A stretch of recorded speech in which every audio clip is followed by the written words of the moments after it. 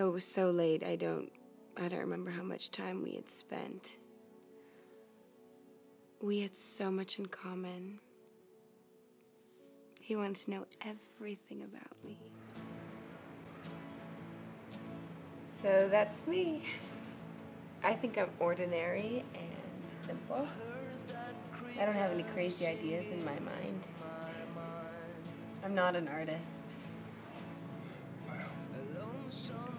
You are extraordinary, Peggy. You wait right here.